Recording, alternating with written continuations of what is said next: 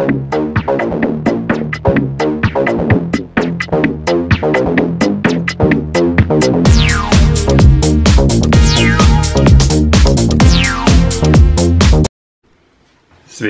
šiandien gaminsim labai puikų patiekalą iš skrandukų.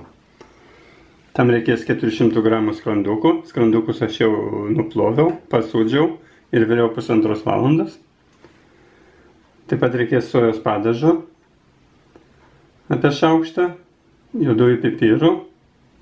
Čia visokių yra ir kvapiųjų, aš visada taip.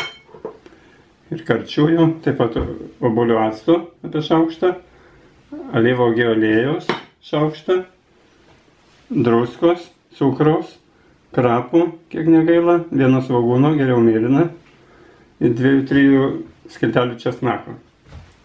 Pirmiausia, suspjaustim svagūną. Pusžiedžiais pjaustysiu plonai.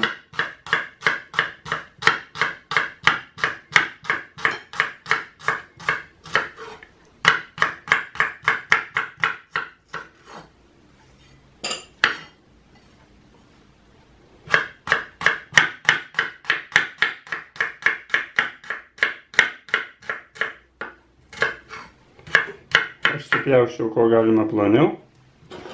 Dabar dedam čia, čia šaukštelis cukraus, arbatinis.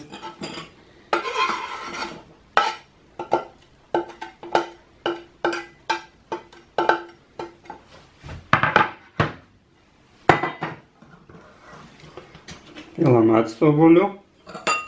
Galite ir ne obuolių, bet obuolių sveikiau. Štai pilam porą šaukštelių. Užpilam vandenį šaltu.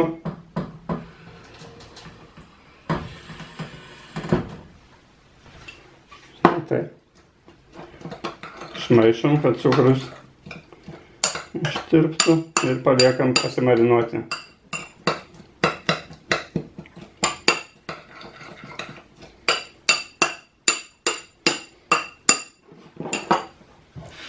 Dabar suspjaustom skrandukus. Skrandukus reikia plonom skiltelėm.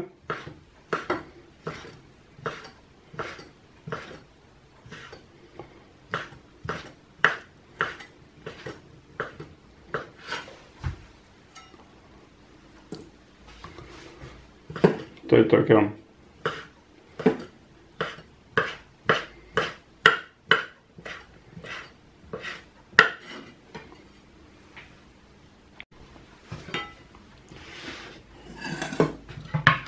Skrandukai supjaustyti, pilam į indą.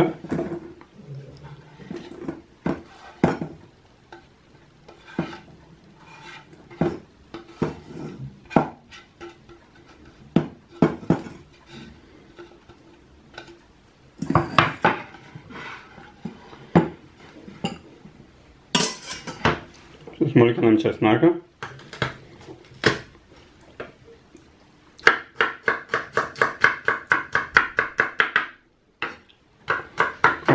O galima smulkiau. Mano nemažas skiltelis, aš dėsiu dvi. Gali dėti ir tris, ir daugiau.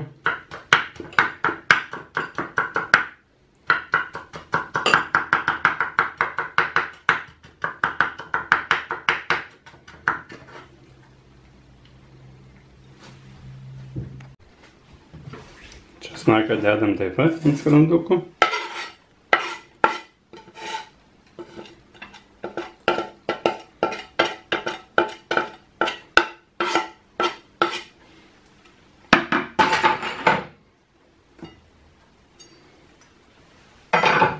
Dedam svagūnus.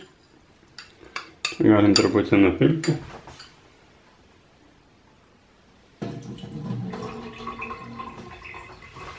Pasimarinavo.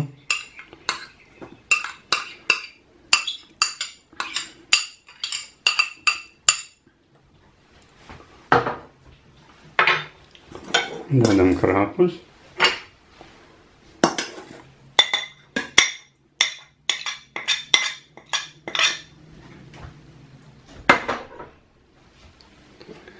atsoja.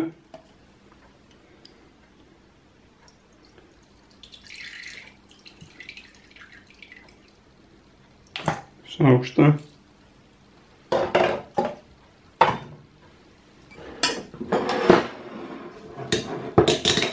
Aliejaus. Alyvogių šaukštą.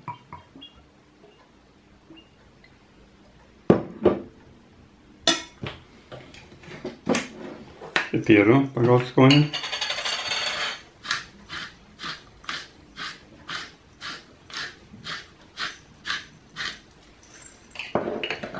Taip pat paragaukite, jeigu reikia druskos.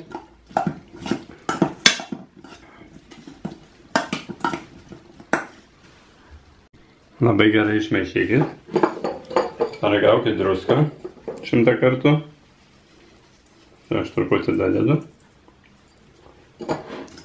Dar kad permaišau ir porą valandų uždengia. Dedam į šaldytuvą, kad pasimarinuotų.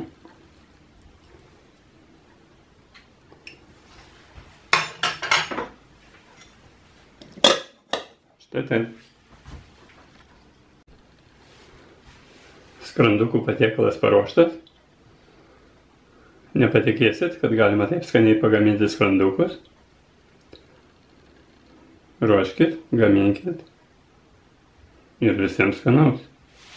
Sėkmės.